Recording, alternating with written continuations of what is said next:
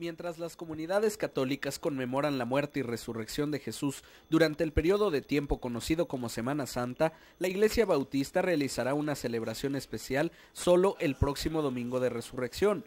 Algunos miembros de esta comunidad dijeron que para ellos todos los días son santos. La celebración para nosotros es todos los días, porque todos los días son santos. Pero a nivel, como te decía hace rato, a nivel internacional se celebra la Semana Santa. En muchos países no se celebra, como en Estados Unidos. En Estados Unidos esto no es representativo. Para ellos son otras fiestas. Pero nosotros como cristianos, como bautistas, sí. Porque queremos dar el mensaje al mundo de la salvación de Cristo. La Semana Santa está dentro de nosotros. Para nosotros lo importante no es el nacimiento, no es la crucifixión, es la resurrección de Cristo. Porque Cristo no está muerto, no está crucificado.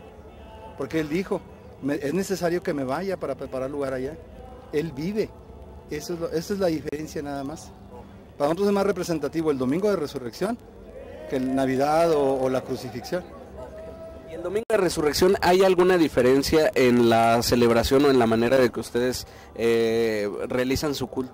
Bueno, desde las 6 de la mañana estamos reunidos porque se supone o se recuerda, ¿verdad?, que a esa hora muy de mañana eh, las mujeres fueron al sepulcro y comprobaron que Jesús ya no estaba en la tumba.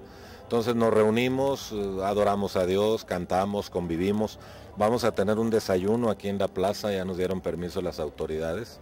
Están ustedes invitados, toda la gente que esté. Y después vamos a seguir con las actividades de la iglesia, ¿verdad? Nosotros no tenemos ayuno ni abstinencias porque nos apegamos a las palabras del Señor que les dicen sus discípulos, eh, o perdón, le dicen unas personas, ¿por qué tus discípulos comen?